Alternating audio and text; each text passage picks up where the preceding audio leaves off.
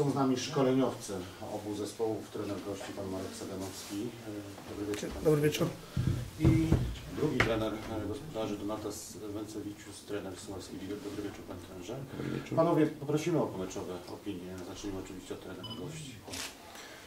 No na pewno e, dzisiaj zagraliśmy, trzeba to przyznać, zagraliśmy słabo przede wszystkim w obronie, to co nas cechowało w poprzednich meczach.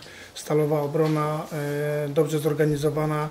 Dzisiaj w pierwszej połowie e, to, to no, myślę, że to jest dużo, dużo do wyciągnięcia. Nie wiem, czy, czy żeśmy troszeczkę odlecieli po tych dobrych wynikach. E, to będziemy musieli wszystko wyciągnąć sobie wnioski z tego meczu. Myślę, że zasługiwaliśmy tutaj na, na, na, e, na punkt. Później kuriozalne bramki, jakie dwie ostatnie straciliśmy, naprawdę rzadko się to zdarza. E, I o ile mówiliśmy w zespole, że ofensywa gdzieś tam nasza troszeczkę zaczęła szwankować, dzisiaj ta ofensywa nieźle zagrała, wyrównywaliśmy dwa razy, goniliśmy wynik. No i ta trzecia bramka to już też takie no, dużo, du, dużo przypadku, e, samobój. Zdarza się.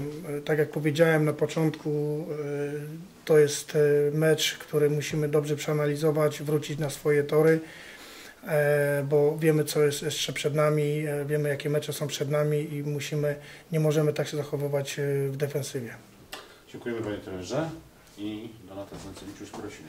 Jak krótko, no, wiedzieliśmy, że czeka nas bardzo ciężki mecz, bo motor, motor jest liderem, liderem wiosny i jak trener mówił, nie ma mało, mało tracił bramek. E, No, mieliśmy troszeczkę też e, szczęście w końcówce. Dobrze, że mecz się skończył, bo, bo dwa razy prowadziliśmy i, i nie mogliśmy utrzymać choć czy do przerwy, czy dłużej potem, no ale cieszy się punkty, co straciliśmy w Sielcach w ostatnich minutach, to, to, to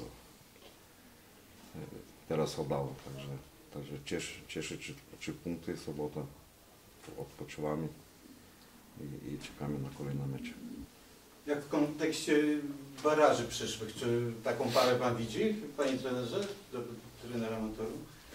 No my jeszcze, jeszcze, jeszcze, jeszcze musimy też e, zrobić e, kilka punktów, dwa punkty do tego, żeby być e, gwarantowanym mieć te baraże. Czy widzę taką, taki mecz? Tak, no, jeżeli, jeżeli Wigry teraz e, dzisiaj zdobyły trzy punkty bardzo ważne dla nich, zdawaliśmy sobie tego sprawę, że z punktu widzenia tabeli jest to mecz e, dla, dla, dla Wigier e, przynajmniej o, o 6 punktów można powiedzieć bo ta, ta, ten dół tabeli ściga e, Wigry, tak więc e, no, na pewno, jeżeli będzie taka sytuacja, na pewno wyciągniemy wnioski z tego, z tego meczu, ale tak jak powiedziałem, nic jeszcze nie mamy zagwarantowane, e, chcemy, chcemy przypieczętować e, tą walkę o te baraże w sobotę w meczu z, z Sokołem Ustruda.